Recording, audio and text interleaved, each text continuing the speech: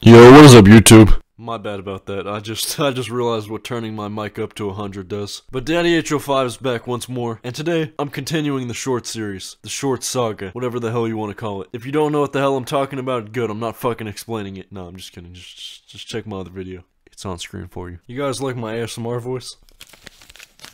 This is me crinkling a fresh five dollar bill. You like that? Fucking like that? Okay, aside from whatever the fuck that was, um, let's blow this popsicle stand. Let's let's get right into the video. So today we're gonna be talking about Dan Rhodes. Now Dan Rhodes is one of these YouTubers who pretty much specifically makes YouTube shorts and is just blowing up like crazy right now. Like this dude is damn near king of YouTube shorts. Like I feel like probably a week or two ago I checked and people were like, "Oh my god, you said one million subscribers." I checked today, this dude's a fucking two million subscribers. Which, all jokes aside, is actually pretty impressive. But regardless, Dan Rhodes is a magic channel, right? This dude's whole shtick is that he does magic tricks under 60 seconds. Pretty simple concept. Now listen, I'm no magician. I don't know anything about magic tricks. So I'm not gonna sit here and, you know, be on my fucking high horse and be like, oh, uh, that's not real magic. If you're not literally bending the rules of the universe, uh, you're not doing real magic, okay? Biting a coin in half, not real magic. I'm going to uh, at least need to see you create a flood that takes out half the United States. What you call magic is simply trick of the lens. Uh, absolute child's play to, to a real sorcerer like me. That was kind of drawn out. Also, what the fuck was that character I just made? That, that was literally like fucking Ben Shapiro mixed with Daffy Duck. I'm not exactly sure what I was going for with that one. But no, I'm not gonna do that. I will admit, you know, some of his, uh, some of his material is, you know, questionable. Like, come on, dude. Can you even really call this magic? Like, stuffing a donut inside your mouth and fucking coughing it out? Nope. Not on my watch. Call me the Magic Marshal. I'm not letting that slide.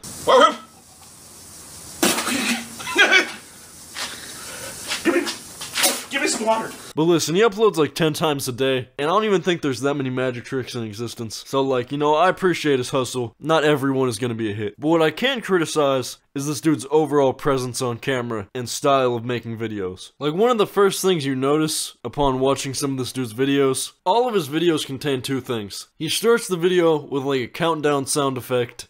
Ow! Ow! Ah!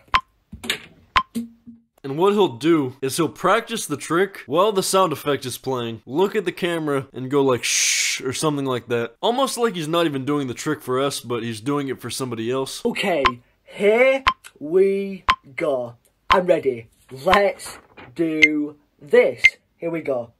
Which I guess is kind of an interesting concept, but I don't know, to me it comes off as kind of like just not really making much sense. And like him displaying the trick on us directly and just tricking us instead of like showing us how it works beforehand would be a much more enjoyable experience. Which, you know, is kind of like the entire fucking point of magic. like if you think about it, you know, the, the thing that makes magic magic is the illusion. Like the term a magician never reveals his secrets is a thing for a reason. If he reveals the damn secret, it's uh, not magic anymore. It, it's just a trick. Oh no. Oh no. Oh no, no, no, no, no. Oh no.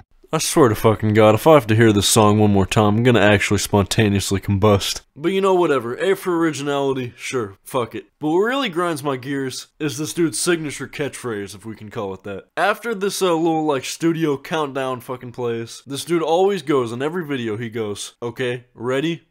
Here we go. Let's do this. Okay, here we go. I'm ready. Let's do this. Like, this man literally sounds like the fitness gram pacer test with his ol' has anybody seen me, Lucky Charms, head ass. Fucking imagine if I, like, start every video like that. Like, every single video I ever made for the rest of my life. At the beginning of every video, I say, okay, here we go.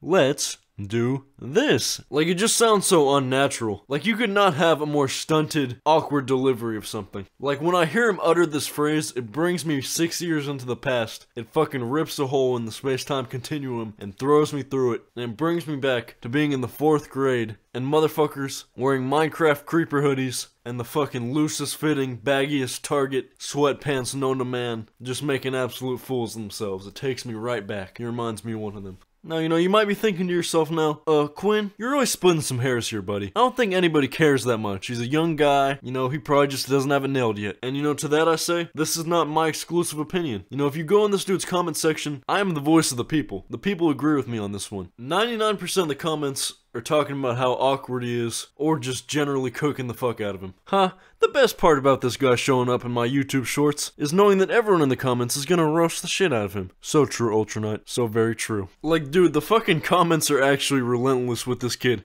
Mom, I did heroin and crack while pregnant. My child was completely unaffected. The child. This is the kind of guy who read joke books in elementary to make friends. I don't know why, but that fucking reminds me, dude. There used to be like Minecraft joke books, and I think I read a couple of those in elementary. Maybe I'm tripping. Okay, turns out it is a real thing, and I'm not a schizoid. So, uh, let's read some of these. Why is it so hard to tell Minecraft witches apart? Because you never know which witch is which.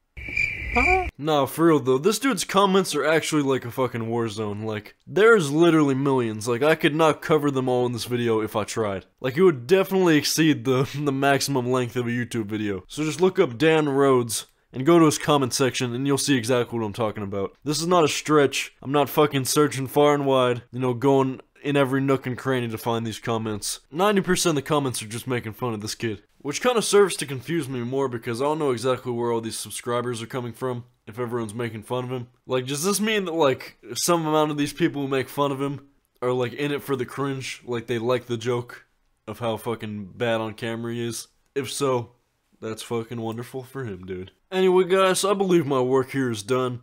Uh, I hope I explained the dangers of Dan Rhodes. Uh, if you see this, don't go and bully him because he's already getting bullied enough.